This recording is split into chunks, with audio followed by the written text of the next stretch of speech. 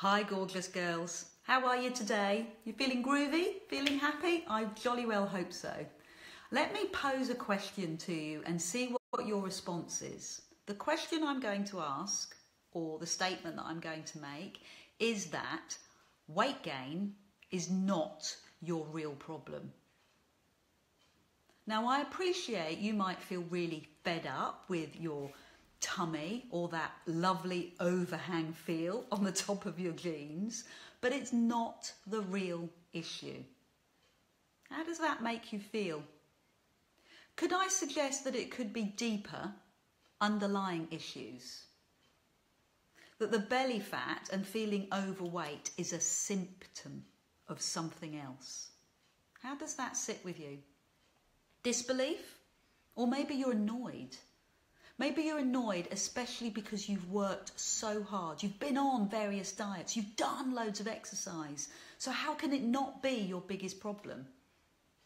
Have a think about it. Step back for a moment and consider those words. Weight gain is not your biggest problem. There is something underneath, something that's causing it. The weight gain is a symptom. Now, I know that you've probably got so many stories going on in your head. Maybe you've got this story that you'll be happy when you've lost what, six pounds? Half a stone? A stone? Then you'll be happy. Then you will get the job promotion. Then all the kids in your life will just be calm. That's what's going to happen when you lose weight. Maybe you've got this story going on in your head that you're worried about what you're going to eat next. What are you going to have for lunch? What are you going to have for dinner? How can you eat healthily and stay away from the biscuits. Perhaps that thought's taking up your brain space. Maybe you're monitoring your food all day long, exhausting, obsessing about your food. Or maybe you're obsessing about your exercise, how you're going to get it done. These thoughts are exhausting. What do you think?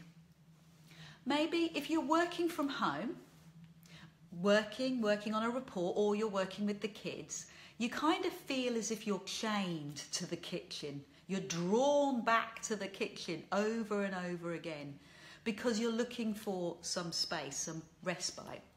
Maybe you've got this fridge scenario going on in your life. You're working hard. You're immersed, like a bit of drama. You're immersed in what you're doing. Perhaps you're painting fingerprints on the wall or you're involved in a report, you're totally immersed, and then suddenly you realize, oh, I'm hungry, or your head is full and you need a space. So you go to the fridge or the cupboard, whatever it is, you open it and you stand there. You look for something healthy.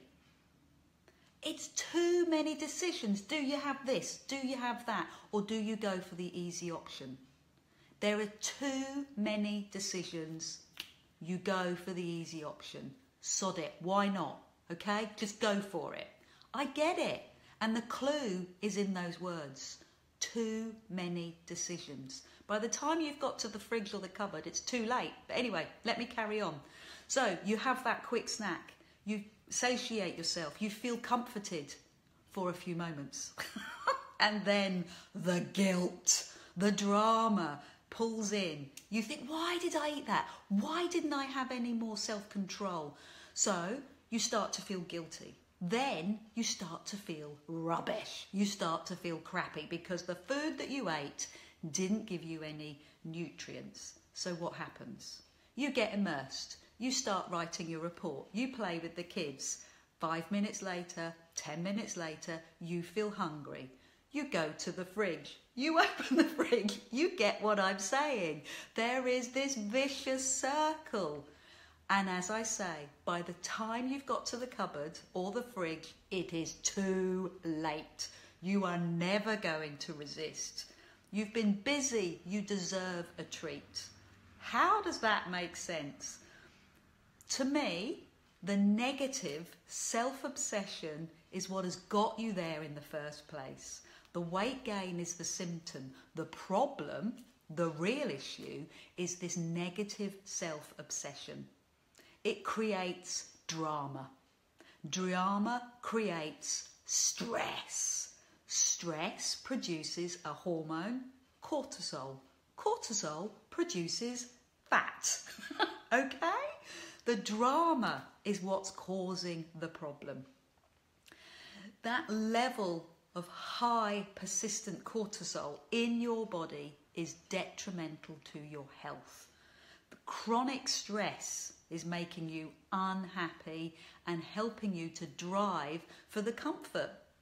It's, it's part of human nature. So work on breaking that cycle. By the time you've got to the fridge or the cupboard, it is too late. Weight gain is the symptom of stress. Now, have a think about that. Do you feel that weight gain is the symptom? Do you realise that there's a deeper issue in play here? Does that feel true to you? Or do you just dismiss it? Either reaction is very interesting. Notice how you feel. I would suggest that there is deep insecurity, maybe resentment. Maybe somebody says something you, to you purely innocently and, and you take it the wrong way. That's a sign of chronic stress because you're in this negative cycle, this flow of negativity, this self sabotage in your head. Anybody that says anything is going to tip you the other way. So it could be completely simple. Now, you could spend a lot of money. You could go to psychotherapy, spend thousands of pounds, hundreds of hours, and find out why that innocent comment upset you too much. Or you could simply just coach yourself or let me coach you and find alternatives. Have a plan. A plan set up so that you don't actually go to the fridge. Does that sound possible? It is. Get in touch and create a plan. Help yourself to have a positive outlook on life. Recreate the scenario that goes on in your head. Help yourself to decrease the stress in your life. Gorgeous girls on my Premier program have found that they have decreased their stress, they have a plan, they have an action, they are confident, self assured within 90 days, sooner for some. So, book in some time for yourself. Book some time for you. Let's have a chat. Let's get down to the bottom. Let's get to the nitty gritty, that insecurity that's driving you to the fridge or the cupboard. I know you think it's hunger. Hunger for what? Let's find out. Take care. Bye.